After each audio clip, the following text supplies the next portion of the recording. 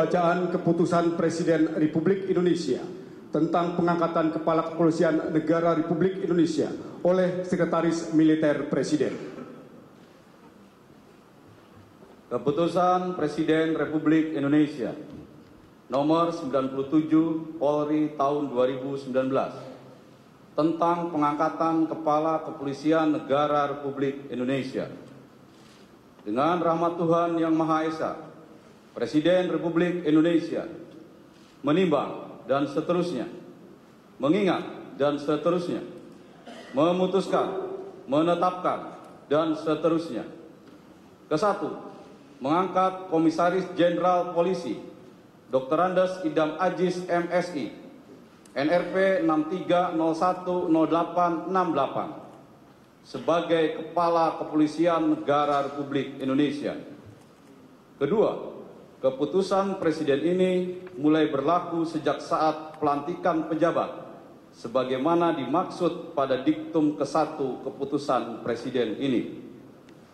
Ditetapkan di Jakarta pada tanggal 1 November 2019. Presiden Republik Indonesia Joko Widodo Rohaniwan dimohon menuju tempat yang telah ditentukan.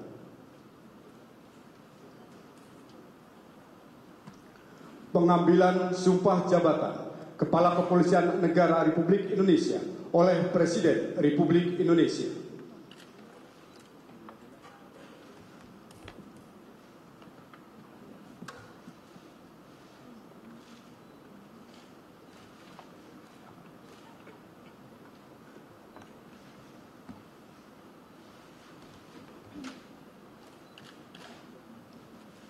Sebelum saudara mengucapkan sumpah di hadapan Tuhan Yang Maha Esa, perkenankan dengan pelantikan pada jabatan ini harap dijawab pertanyaan saya. Saudara Komisaris Jenderal Polisi Dr. Andes Idam Aziz, MSI, apakah saudara beragama Islam? Siap beragama Islam. Apakah saudara bersedia saya ambil sumpah menurut agama Islam? Siap bersedia. Harap saudara mengikuti dan mengulangi.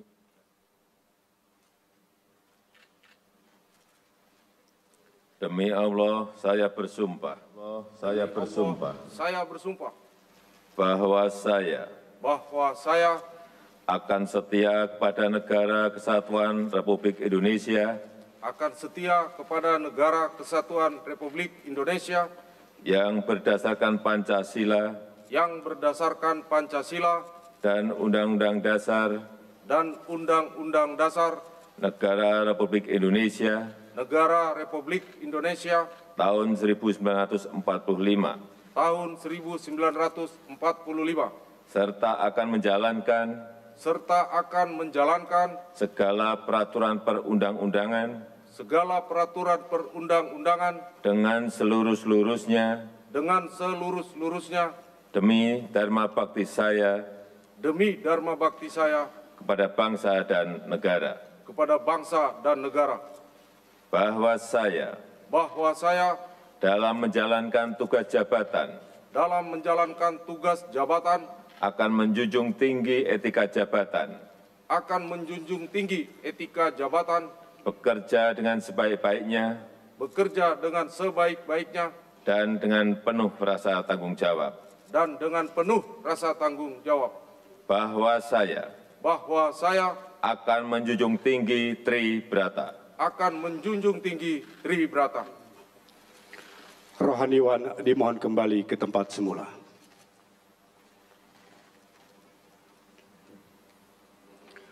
Persiapan penandatanganan berita acara kepada Komisaris Jenderal Polisi Dr. Andes Idam Aziz MSI dimohon menuju meja penandatanganan.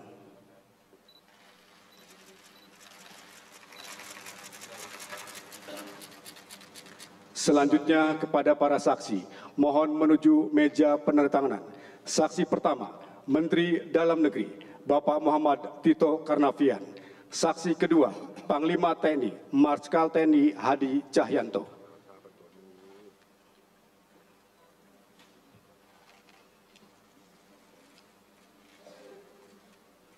Kepada yang terhormat Presiden Republik Indonesia berkenan menuju meja penandatanganan.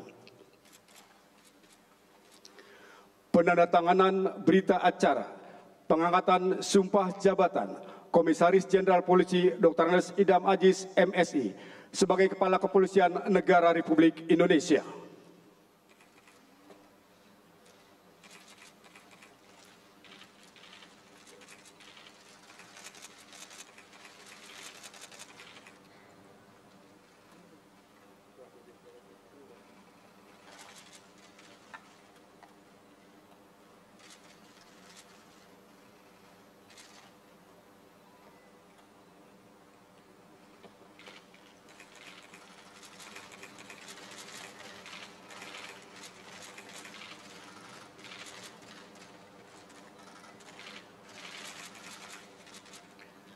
Kepada yang terhormat Presiden Republik Indonesia berkenan kembali ke tempat semula.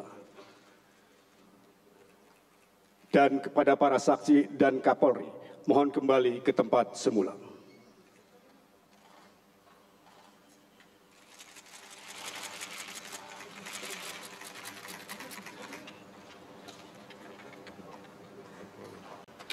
Pembacaan keputusan Presiden Republik Indonesia tentang kenaikan pangkat dalam golongan perwira tinggi Polri oleh Sekretaris Militer Presiden. Keputusan Presiden Republik Indonesia nomor 98 Polri tahun 2019 tentang kenaikan pangkat dalam golongan perwira tinggi Polri. Dengan rahmat Tuhan Yang Maha Esa, Presiden Republik Indonesia menimbang dan seterusnya mengingat, dan seterusnya, memutuskan, menetapkan, dan seterusnya.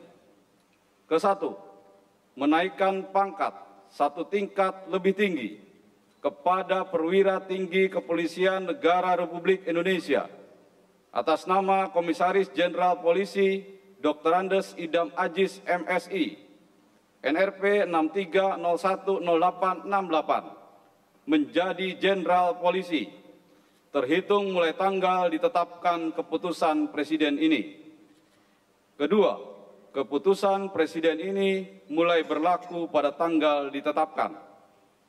Ditetapkan di Jakarta pada tanggal 1 November 2019.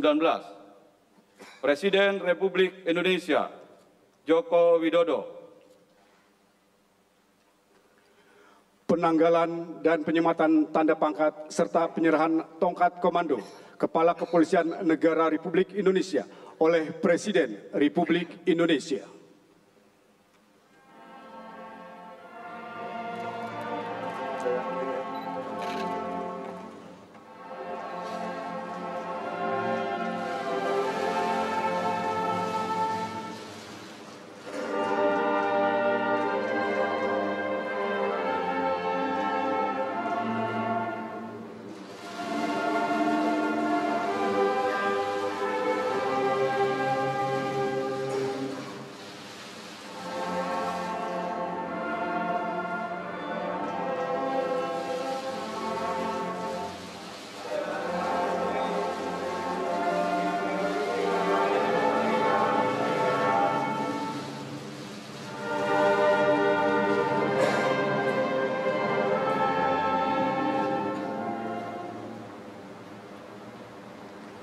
Lagu Kebangsaan Indonesia Raya.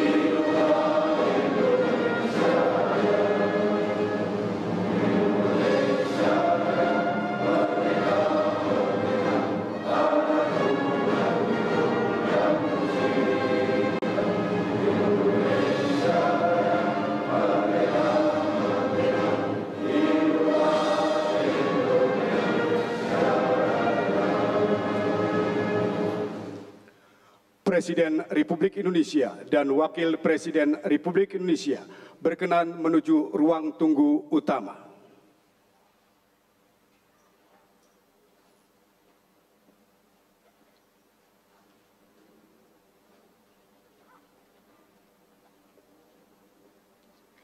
Dan kepada pejabat yang telah dilantik, dimohon menuju tempat yang telah ditentukan.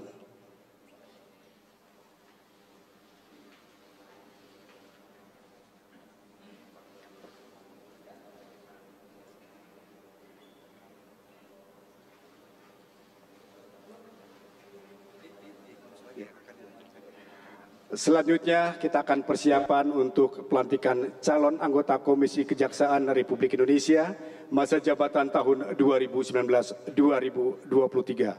Kepada para calon anggota Komisi Kejaksaan kami silakan untuk menuju tempat yang telah ditentukan.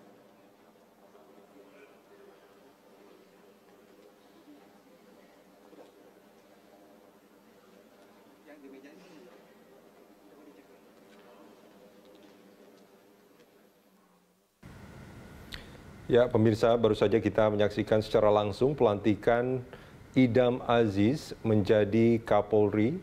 Idam Aziz uh, langsung juga dinaikkan pangkatnya menjadi Jenderal Polisi sejak uh, pelantikan. Dan kita sesaat lagi akan menyaksikan ada pelantikan lainnya di tempat yang sama, yaitu pelantikan Komisi Kejaksaan periode 2019-2023.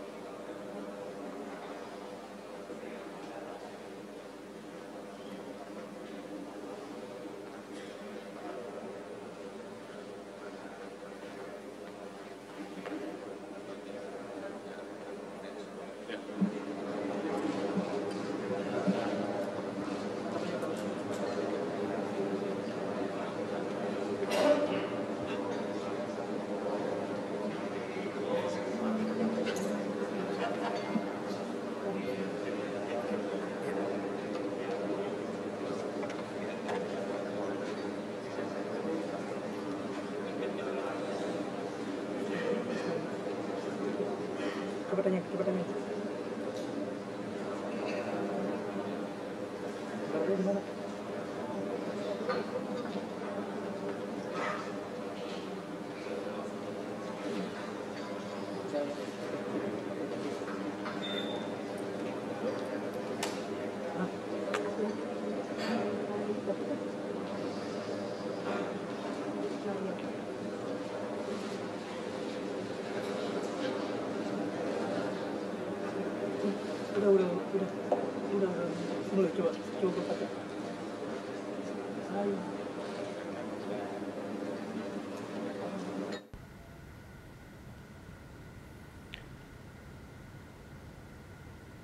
Ya, Idam Aziz resmi menjadi Kapolri hari ini. Idam Aziz adalah uh, kelahiran dari kelahiran Kendari Sulawesi Tenggara 30 Januari 1963. Pendidikannya adalah Akpol 1988. Dan di tahun yang sama dia langsung bertugas di uh, Kepolisian Resor Bandung di Pamata. Di tempat yang sama kemudian di tahun berikutnya menjadi kepala urusan bina operasi lalu lintas Kepolisian Resor Bandung dan juga pernah menjadi kepala kepolisian sektor Dayakolot Resor Bandung. Jadi memang awal karirnya itu banyak di Bandung, Jawa Barat. Kemudian pada tahun 99 dia menjadi kepala unit visi Satuan Serse UM Direktorat Serse Kepolisian Daerah Metro Jaya. Kemudian sempat menjadi wakil kepala Satuan Serse Direktorat Serse Kepolisian Daerah Metro Jaya.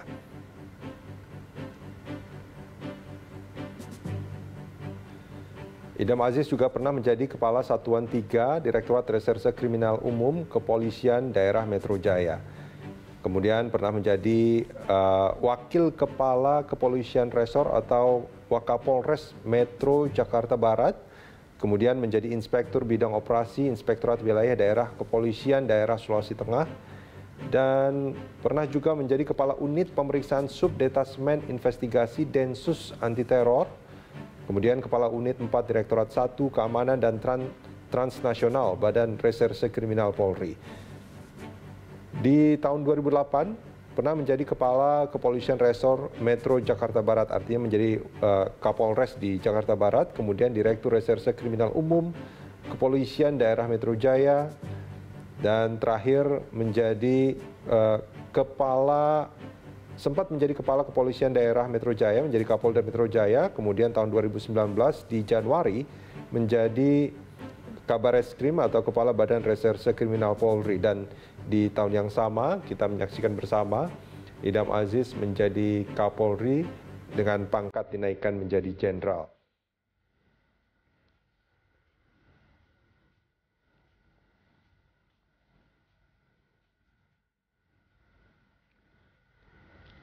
Dalam proses uji kepatutan dan kelayakan di DPR, Idam Aziz menyampaikan sejumlah program kerja sebagai Kapolri dalam memperbaiki kinerja Polri. Idam Aziz juga berjanji untuk menyelesaikan sejumlah pekerjaan rumah di institusi yang akan dipimpinnya selama 14 bulan ke depan.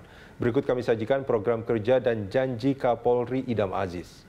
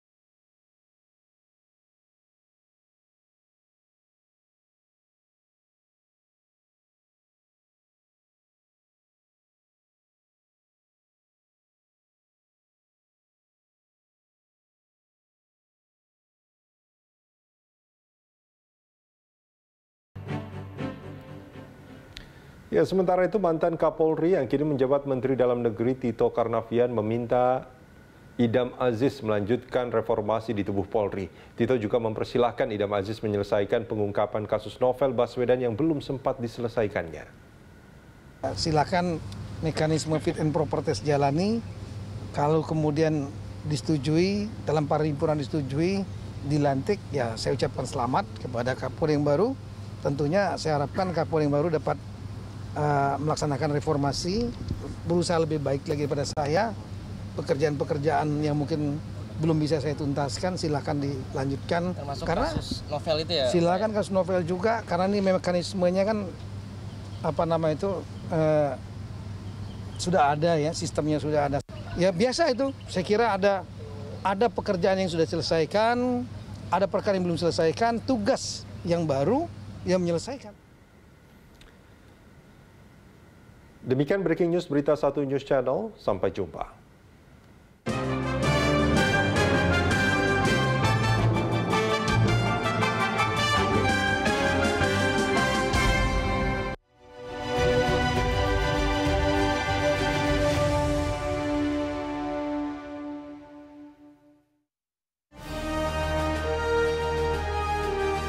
Selama ini sampah plastik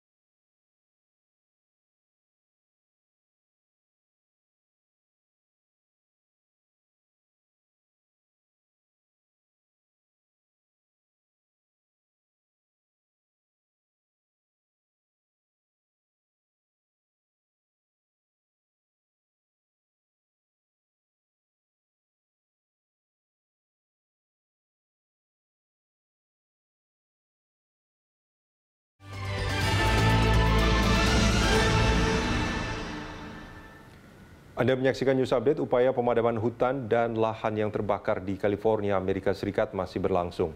Evakuasi 7.000 keluarga juga masih berlangsung. Kebakaran hutan seluas lebih dari 300 hektar terjadi sejak beberapa hari terakhir. Ratusan petugas pemadam kebakaran dikerahkan untuk melakukan pemadaman sejak hari Selasa. Namun api sulit dikendalikan karena angin membuat api terus menjalar.